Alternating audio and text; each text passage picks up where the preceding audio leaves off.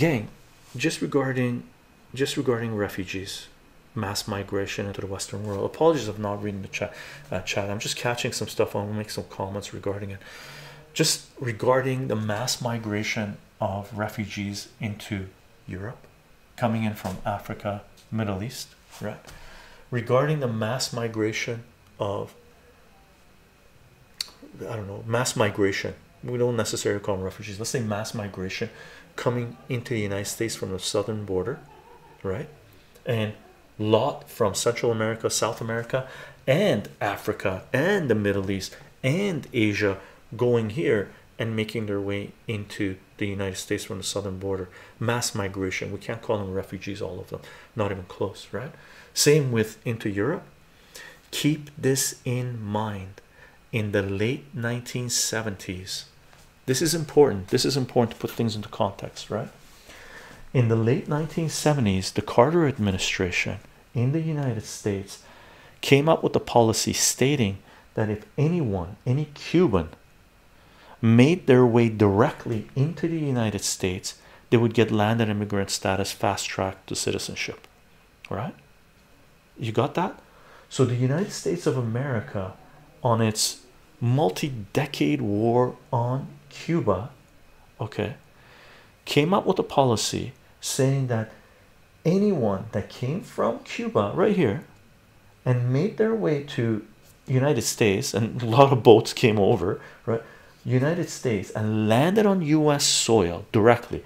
So Cubans couldn't go to Mexico and make their way to uh, United States and get that deal. They had to go directly from Cuba to the United States. They would be fast tracked uh, they would get green card fast track their way into citizenship. And Elder Gossing see Scarface and Scarface the movie with Al Pacino shows news clips at the beginning of this happening right? Straight up fact right? So Cubans the ones that didn't like the Castro regime right went right on right so they all hopped into boats in Havana and Havana's on the top there right facing the United States. Went on to Havana lots of boats tons of boats hundreds upon hundreds of boats right?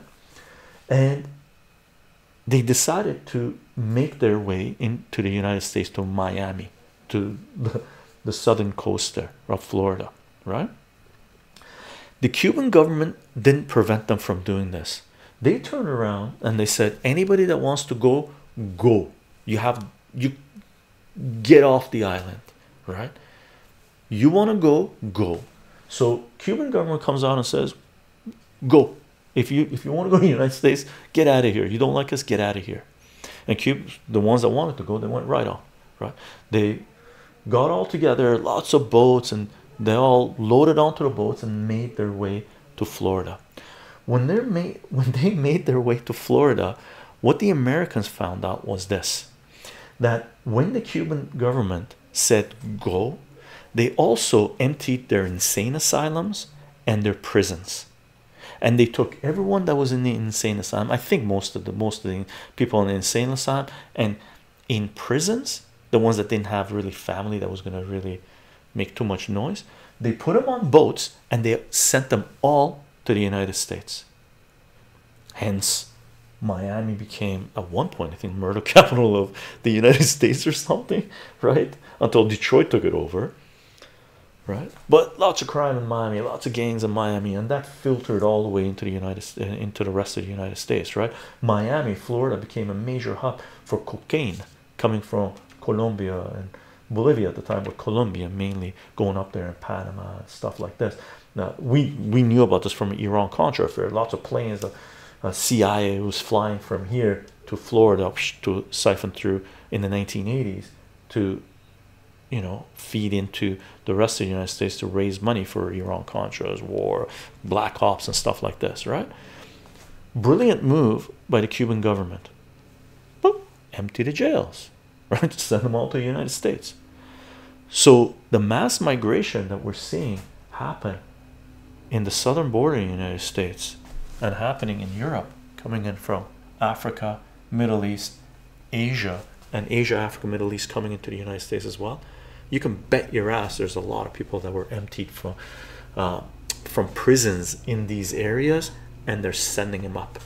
Guarantee there's a lot of convicts from this area from the prisons that they were given an option saying hey you can stay in prison or march your way to the southern border. And if you're I've never been in prison down here but I wouldn't want to be in prison anywhere right? But some places are worse than others. I knew I had friends that were in prison in Afghanistan and the guy went in with a full set of hair came out completely bald right? And he he was a friend that I met in Vancouver. He was not right right? But they gave him an option. They said go and guarantee they're going. That's the mass migration. That's US foreign policy western foreign policy in play right?